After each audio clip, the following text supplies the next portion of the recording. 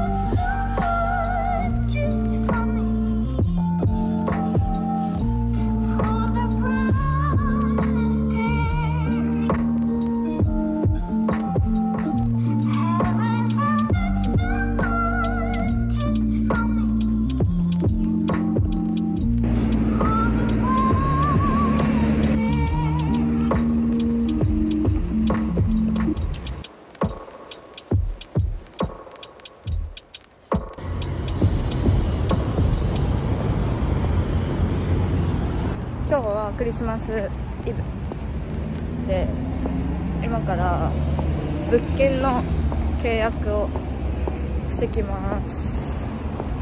ドキドキしてる。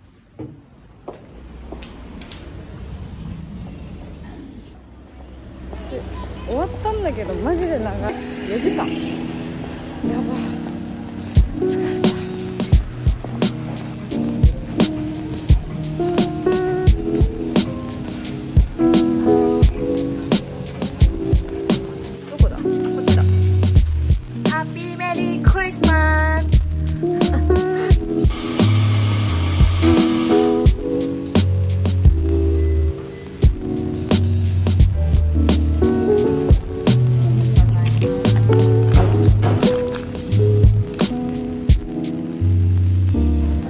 えー、嘘。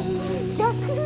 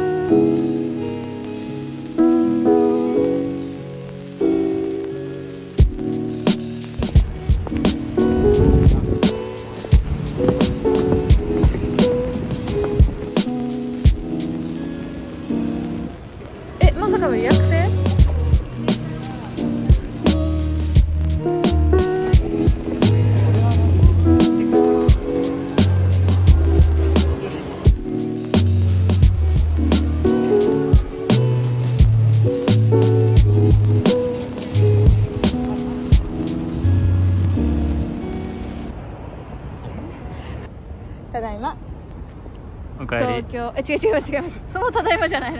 はい。ただいま東京にあるアワン東京にケーキを買いに。はい。たいと思います。大人っぽいシックなエロスなやつ。です エロスなチョコケーキがいい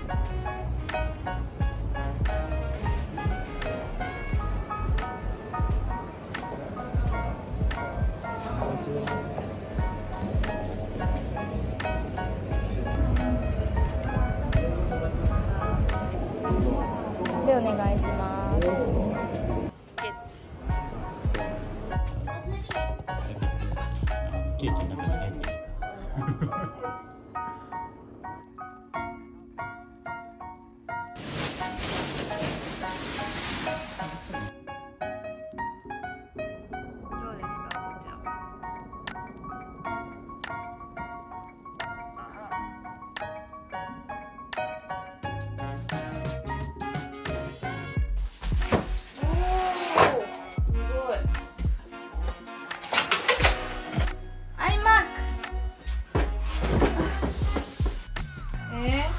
ー、剥がしちゃういきます。あープン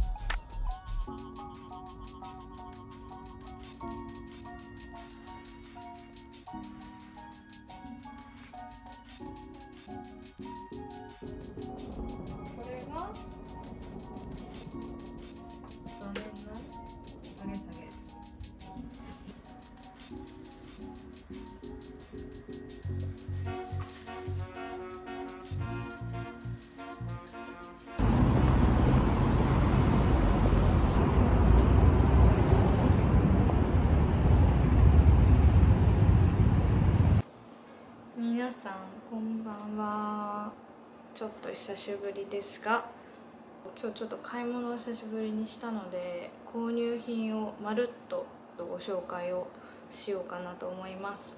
ダートのニットタートルネックのニットです。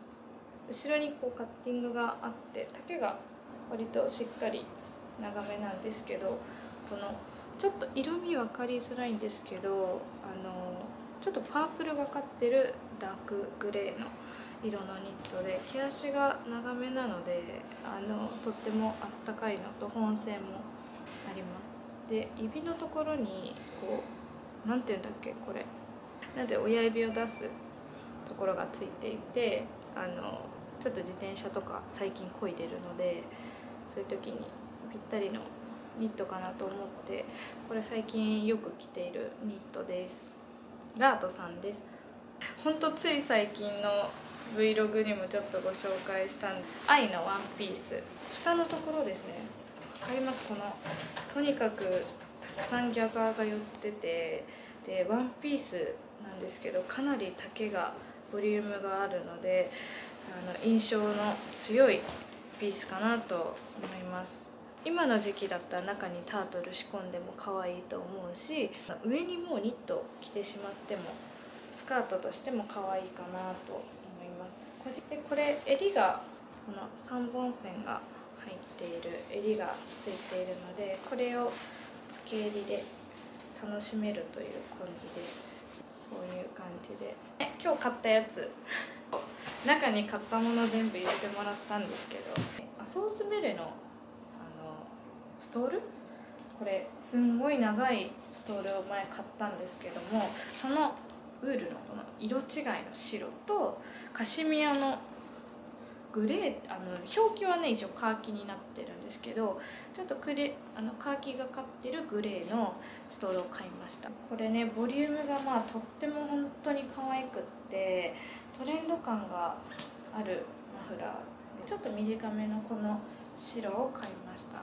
でカシミヤのタイプは生地がもうちょっと薄いのであのかさばらず使えるかなと。これああかわいいね。勇気やこんあられやこんかねノマディスかな？のバッグ。このポケットがねついててポケットがついてて中が。こんな感じでこのシームレスなあの本当に無駄を省いた感じのバッグを買いましたでもう一個バッグ買って中綿が入っててふわふわなんですがとっても軽いんで、まあ、旅行用バッグで旅行とかでガシャガシャ使えるかなと思ってこのネイビーを買いました。中はまあシンプル。こんな感じで1個ポケットがついててあとは仕切りとかないんで、まあ、普通に荷物バシャーンと入れていけるかなっていう感じですごい軽くていい。コートを買ったんですけどアンスクリアのコートを買いました。ステンカラーのちょっと幅広めのコートなんですけどこんな感じ。中のキルティングが取り外しができてそれをベストのように着ても可愛かったんで着方ちょっと変えて楽しめるかなと思って買いました。ベスト。ベストをねこんな感じでトレンチの上にベストを着る着方が可愛いなと思って買いました。この秋に買ってたものがあってのブーツ買いました。これガニーのブーツです。秋冬ちょっとコートとか買ってなかったのでちょっとチャレンジしてみました。そことかもかなり厚めなのでちょっとハードな印象かなっていう感じはありますが割と満足。してサイクルラバーのタイプとこのレザーののタイプがあるんですけど私は牛革の方をあの買いました。私がね合皮の方を履くとちょっとだけなんかこう子供がレインブーツ履いて雨の中お出かけしてるみたいな感じになるかなと思ったので このレザーのタイプを買いました。これはインスタにも載せてるのでちょっと見ていただけたら。あとは最近買ったというか自分が作ったものですけどこのマスクストラップを作りました。トップがこの真鍮のボールになっていてこんな感じであのパーツがピアスっぽい感じで存在感がね少しあるようなこういう見えますかね。結構お気に入りです。今回はネックレスにはちょっとならないんですけどパーツかなりこだわって作ってまあこうやってねご飯食べる時にはネックレス風につけることもできるのでもう1種類だけちょっと作ろうと思っていることがものがあるのでそれとこれの2種類になる予定です。でよければ見てください。12月の購入品1112かな？でした。